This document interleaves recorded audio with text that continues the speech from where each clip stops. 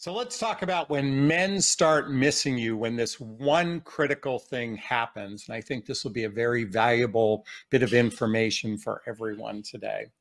So, what is missing? Missing somebody? I think missing it can be, I'm not saying it's always this case, but missing can be a reflection of care when two people are apart, meaning that you are apart from this person, you care for them, and you wish to be in their presence.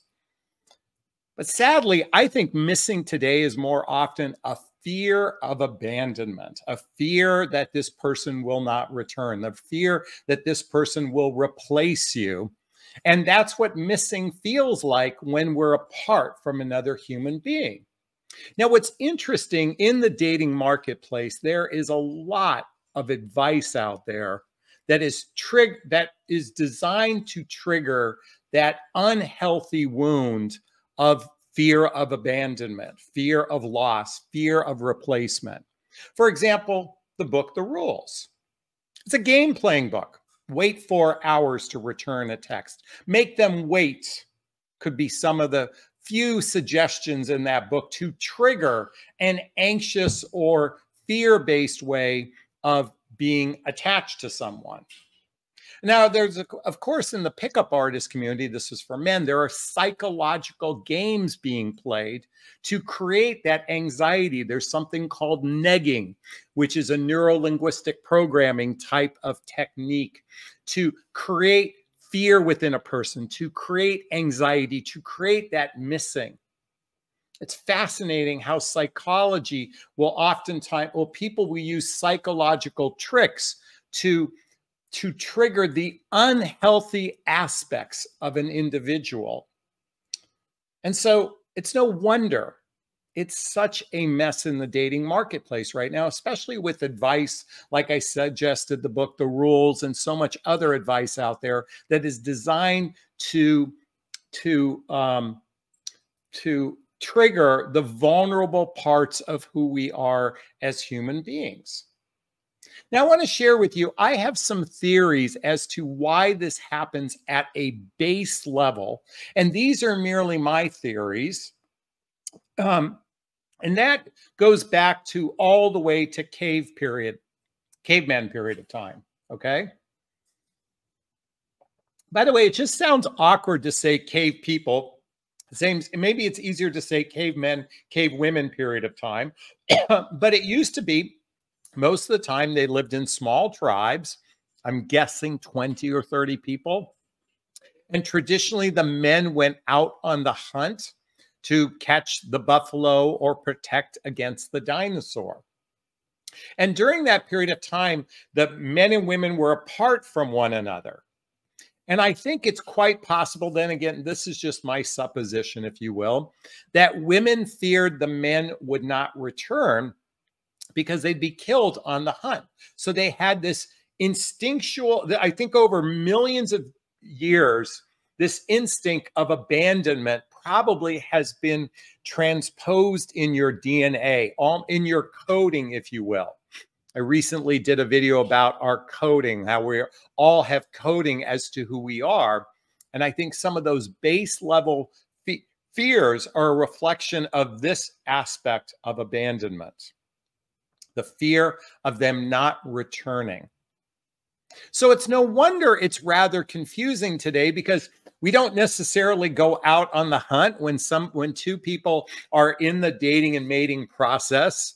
I don't think you're going to depart from a first date and feel as though that this person is going to die in the hunt. Okay, I don't suspect that we on a psychological level do that. But I do believe that we have this instinctual territorial aspects of ourselves the minute we bond with another human being, the minute we begin feeling a level of attraction or attachment. Now, did you know as I said attachment? See, many people don't understand love attachment. And I, I'm going to invite everyone to read two books, actually, three books. Um, all the books I recommend are listed below in the books, uh, Jonathon recommend books. I talk about this frequently. I talk about the book Attached by Amir Levine and Rachel Heller. I talk about the book Getting the Love You Want by Harville Hendrix and Helen Hunt. And I definitely want to talk about Dan uh, Stan Tack, Dr. Stan Kit Tatkin's book, Wired for Love. We had him on the channel. He talked about this. But if you're not familiar with love attachment style, this is where we attach, oftentimes in an unhealthy way, to another human being.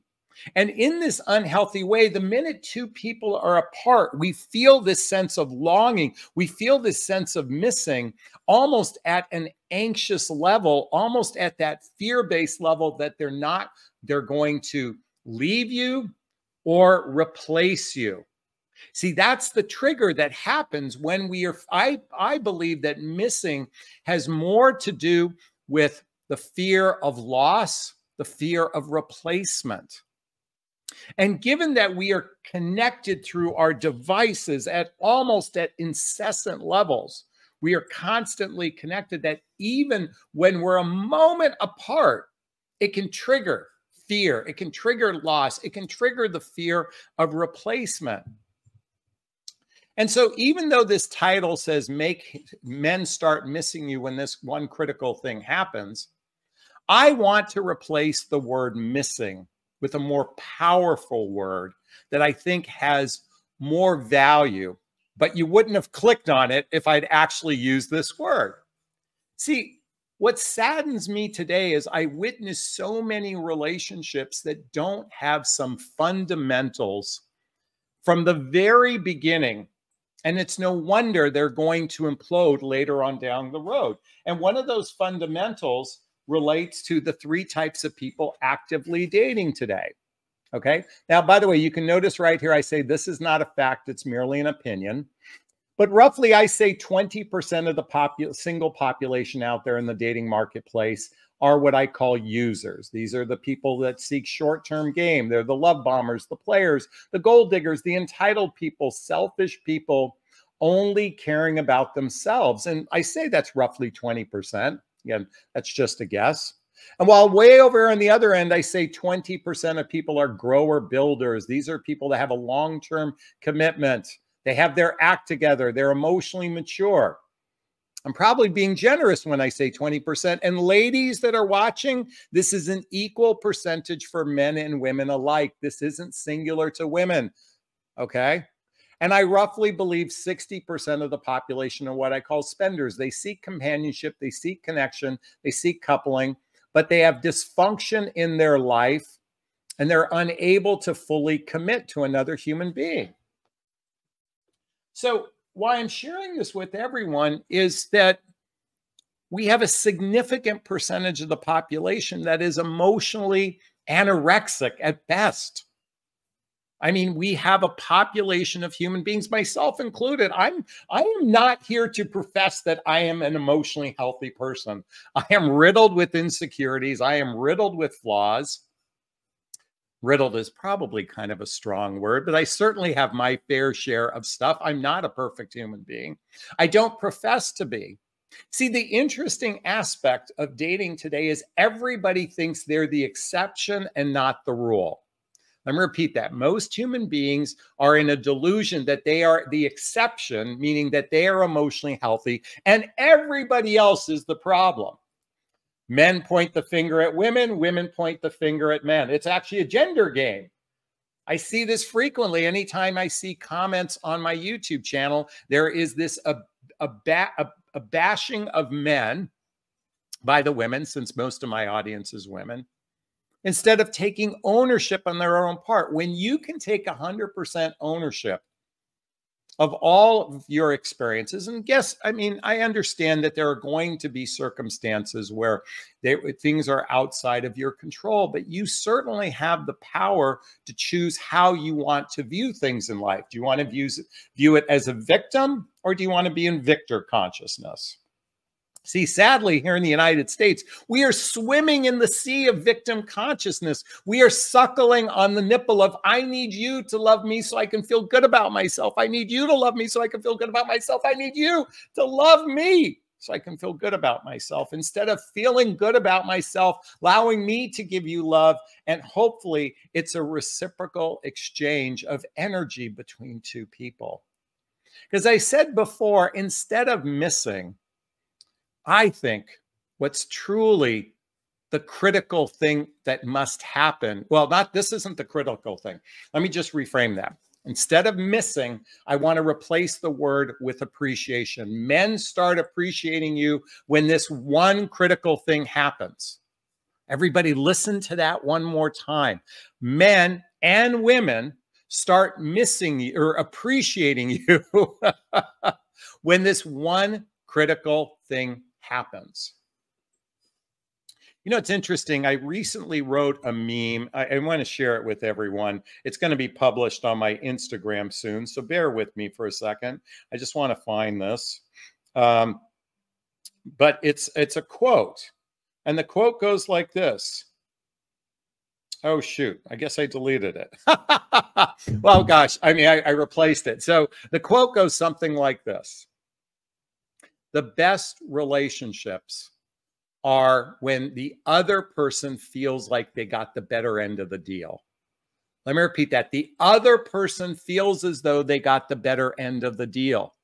When two people can be in such gratitude for one another, they can be in such gratitude for one another, genuinely grateful that this other person is in your life. That's the one critical thing that needs to happen to feel appreciated when you're in such gratitude. And sadly, so few couples reach this state of genuine mutual gratitude for one another. It saddens me to say that because the reality is is most people are experiencing some level of transactional type relationship. You're giving me a little bit of companionship, you're giving me a little bit of connection, you're giving me a little bit of sex each person is this is the exchange without any real understanding of the mechanics to a healthy, happy relationship. This is one of the reasons why you might want to read the book uh, by John Gottman, The Seven Principles of Making Marriage Work. I want you to take out the word marriage and replace it with relationship. These are great foundational principles to understand the mechanics to a healthy, happy relationship. And when you can understand the real deep roots that are necessary to sustain a healthy relationship, if you go in with this consciousness instead of this ambivalent way most humans are dating today, there is this absolute naivety and ambivalence and ignorance and arrogance for so many people. And then you have to wonder you only have yourself to blame if all you do is whine and complain. See, when you understand things, you can actually go in with a more conscious approach into the dating marketplace. And it's and it so fascinates me. I mean, women come to me all the time, Jonathon, I know what I want. I know what I want. I know what I want in a relationship. And then they go through this proprietary coaching program I created. And can you guess what they say every single time? Holy cow, I had no idea I was this naive. By the way, there's a link right here to schedule a discovery call with me to see if working with a coach is right for you. There's a link below. It's, I mean, and it's amazing. The minute women make an investment in understanding this, I get calls each week from clients. Jonathon, I met a great guy. Jonathon, I met a great guy. Jonathon, I met a great guy. And they know the difference. They're actually attracting a higher caliber men because a they understand their their standard. Now standard is really a reflection of the they understand that character is the most critical component in a relationship. It's not about how tall they are, how much money they have, how they look. Those are certain factors in attraction, but real standards is a reflection of someone's character, most importantly, their character with respects to commitment. Are they committed to wanting to be in commitment? That's a critically important piece.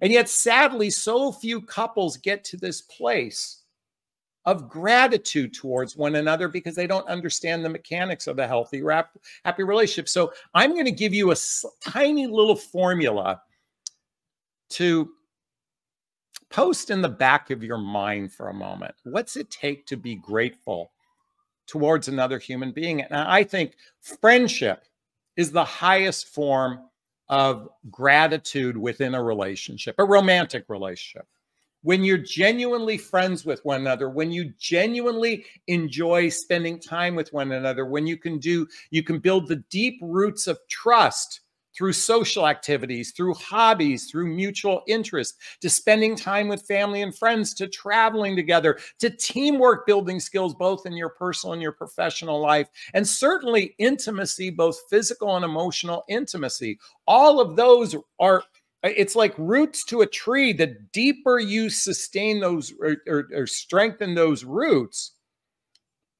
the stronger the relationship is. I want you to imagine a, imagine a tree without roots.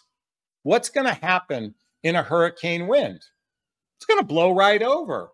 It's no wonder that 90% of casual relationships never make it to something more substantial. I want you to think about that for a moment.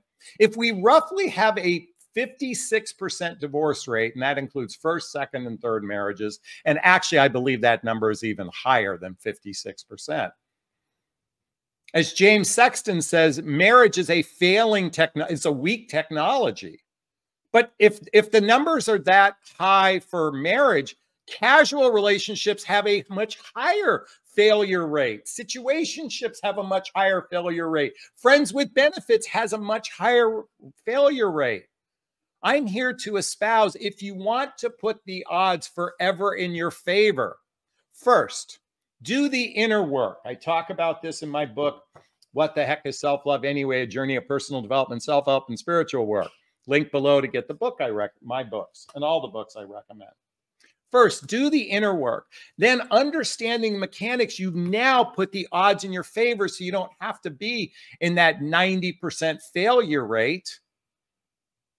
Maybe you get to like a 75% failure rate. Rather, did you ever see the movie um, uh, Dumb and Dumber? He's uh, uh, Jim Carrey says to Lauren Holly, like, what's my chances with you? And she goes, one in a million. And he says, so you're saying I have a chance, right? Well, we have a greater chance of success when we do the work. And I'm not trying to sound like a defeatist, but I'm not going to blow fucking smoke up your ass and make it sound like, oh, it just, you have to follow my formula and you're just going to magically attract the person of your dreams. That's just, by the way, any dating coach that says that their system is the best and it works, they're full of shit because human behavior is so fucking complicated. It's and, and there's so many moving parts to a successful relationship. Like all the game playing temporarily works. The book, the rules temporarily works. Yes, temporarily for like a nanosecond. But get remember, most humans aren't experiencing a juicy, delicious, healthy, happy relationship. But I want to put the odds in your favor. And this is why I speak at the top of my lungs, why I scream often at the camera, because I want to encourage everyone to do the soul work of healing on the inside. And by the way, remember I talked about cave people? We have generational stuff we have to clean up as well. I was watching a Netflix episode the other day called Another Self Another Self. Someone write that in the chat box, Another Self on Netflix. It's actually a Turkish production, and many of you know my heritage is Turkish. My parents are both from Istanbul, Turkey. And it's a fascinating story about healing generational trauma. And so it doesn't just start with our own work, it's also about going back in time and healing at every possible level to put you as I said earlier, the odds forever in your favor. Is this sinking in? Is this resonating with you? Please let me know. Just as a reminder, gratitude is that one critical thing that must happen for men and women to start to appreciate you because that is more powerful than missing you. Is this sinking in? Is this resonating? Please let me know. If it is, post a comment below. I do my best to read them all in the first 24 hours. As always, if you find value in this video, please hit that like button. Please share this video. Please subscribe to my channel and hit that notification bell as well so you can be notified of new videos. And if you'd like to connect with me, hey, schedule a discovery call with me to see if working with the coach is right for you. The link's in the description. You can uh, join my group called Midlife Love Mastery, where you can have direct access to me. You can follow me on Instagram. You can get the books I recommend. You can get my dating vows. You can join uh, my membership group here on um, YouTube as well. All of the links below.